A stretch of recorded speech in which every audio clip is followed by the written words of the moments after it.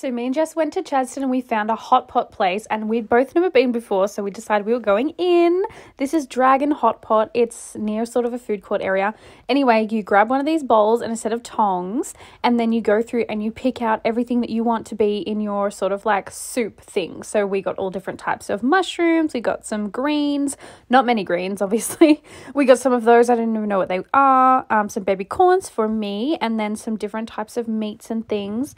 Um, we got some noodles, rice noodles. They were delicious. And then we put a bunch of these seafood things in there just to try.